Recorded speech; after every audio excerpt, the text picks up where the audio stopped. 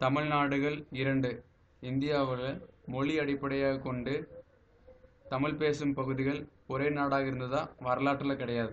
பருவமழை நீர்பிடிப்பு பகுதிகள் விவசாயம் மனித வாழ்வியல் இயற்கை அமைப்பு ஆகியவை அடிப்படையாகக் கொண்டு சேர சோழ பாண்டிய நடு மற்றும் தொண்டை நாடு என்று பல தேசங்களாக இருந்தன.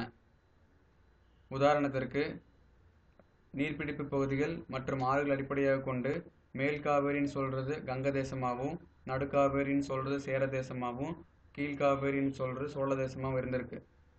பதினெட்டாம் நூற்றாண்டில் ஆங்கிலேயர் ஆட்சியில் கூட மொழி அடிப்படையாக கொண்டு பிரிக்கப்பட்ட மாநிலங்கள் எதுவும் கிடையாது.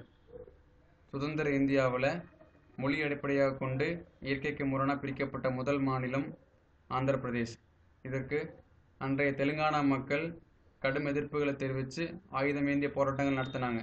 இதற்கு உறுதுணையாக இருந்து நடத்தினவங்க பொதுவுடைமை கட்சியான கம்யூனிஸ்டுகளும் அன்றைய ஹைதராபாத் நிசாமும். இந்தியாவில் தமிழ் பேசும் மாநிலங்கள் எத்தனை இருக்குது? ஒன்றா கிடையாது. ரெண்டு இருக்குது. சிறிய மாநிலமான புதுச்சேரியும் பெரிய மாநிலமான தமிழ்நாடும். ஒரே மொழி பேசும் பெருவாரியான மக்கள் ஒரே மாநிலமாக இருக்கிறோங்கிற அடிப்படை வாதமே இங்கே தோற்று போய்விடுகிறது. ஆகவே அரசின் நிர்வாக வசதிக்காகவும் பொதுமக்கள் அதிகம் பயனடைவதற்காகவும் மாநிலங்களை மறுசீரமைப்பு செய்து புதிய மாநிலங்களை உருவாக்க வேண்டியது அரசியல் சாசன சட்டத்தின் கீழ் அவசியமான ஒன்றாகும்.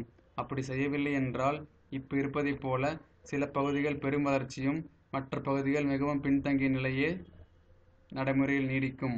ஆகவே சிறிய மாநிலங்களே சீரான வளர்ச்சிக்கு வழிவகுக்கும்.